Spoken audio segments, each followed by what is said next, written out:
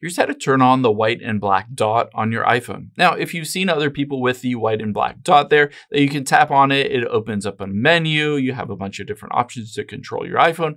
I'll show you what it is and how to enable it. But first, hit the subscribe button down below. It really helps me out.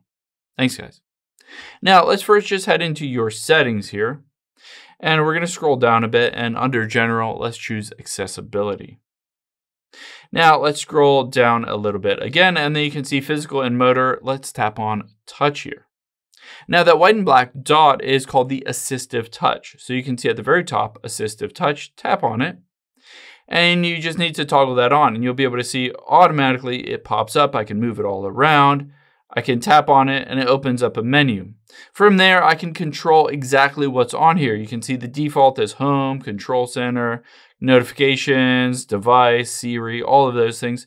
But you can choose custom actions here. You can create new gestures.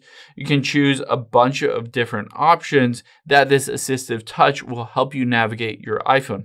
It says at the very top, Assistive Touch allows you to use your iPhone if you have difficult touching the screen or if you require adaptive accessories. Now, keep in mind if your phone has issues with the touchscreen, this Assistive Touch is really helpful to navigate around your iPhone. And of course, if you ever don't need it, you just need to turn it off there and that, that, that black and white dot will disappear directly from your screen. I hope this helps. If it did, hit the like button down below and leave a comment if you have any questions. Thanks, guys.